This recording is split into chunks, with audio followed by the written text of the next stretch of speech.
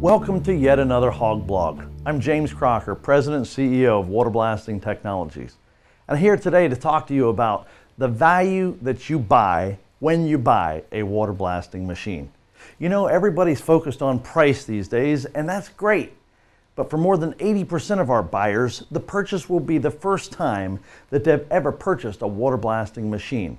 And understanding exactly what they're purchasing is vitally important to your success and ours. So it's price versus what? Well, PSI, the GPM, and liters per minute, which will translate directly into productivity, and that will be the thrust of our talk today. But there are many other factors water capacity, vacuum capacity, drive speed, and roadworthiness. Can I drive this on the road or is it limited to my airport grounds? Flexibility of spray bar widths, the dewatering capabilities, the debris handling. Some people want to dump into dumpsters. Uh, pump maintenance. You know, a lot of high pressure pumps are very complex. We have the only high pressure pump that does not require a torque wrench to work on it, eh, nor a college education. The spare parts system. Uh, we don't sell a spare parts package, it's a system ensuring that you have the parts you need before you actually need them. Operator training and certification program we have the world's first certification program. There's a passing grade, there's a failing grade. We think if you ought to have a license to drive a car, you ought to have a license to drive a stripe hog. The continuing education, and then 24 7, 365 uh, uh, day customer support, vitally important to your long term success. So, to get around to the most glaring example of how different values are brought by different systems, have about seven or eight examples of recent tenders at airports where we were the high bidder but were awarded the contract. In this first example, you'll notice that uh, we actually bid 12 gallons a minute, and that translates into $53,000 uh, per gallon.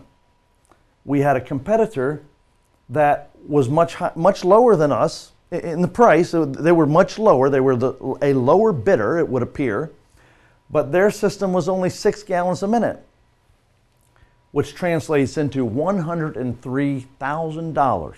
So you can see that uh, we appeared to be high, but we were actually low.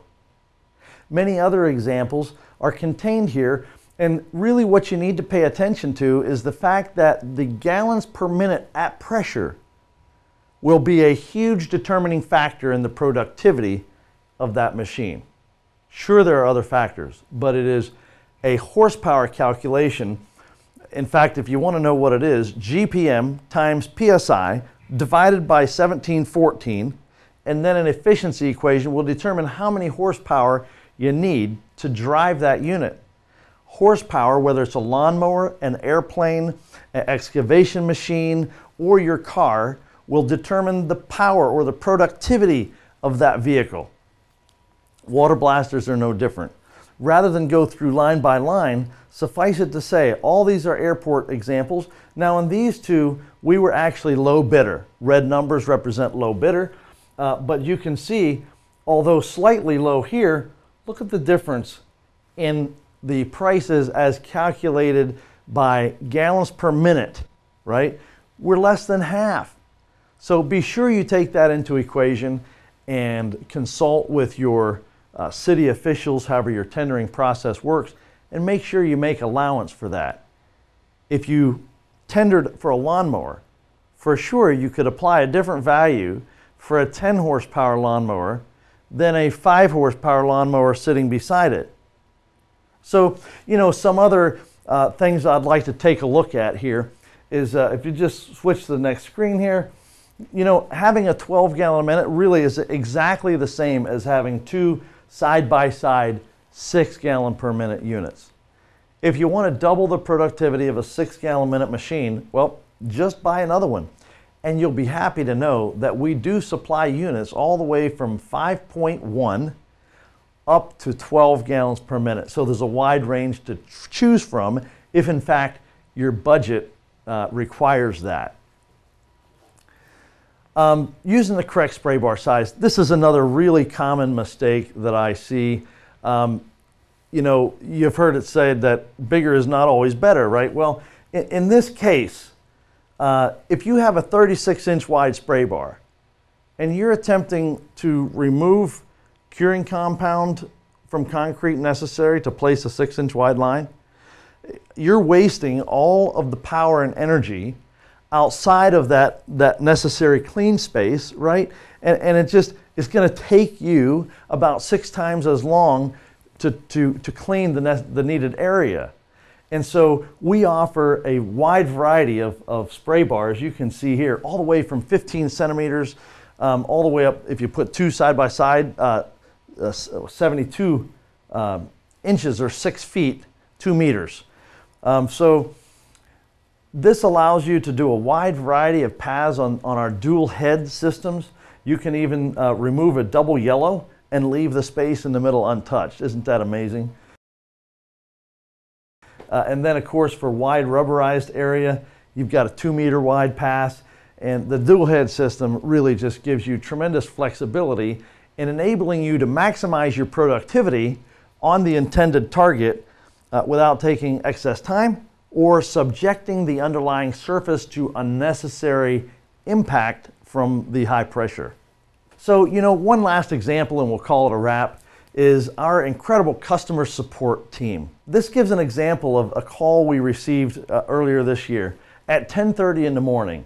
Um, a, a, failure occurred, and that airport had FAA inspection in just seven days. Well, by 10:35, we had the part uh, assembled for the next flight out.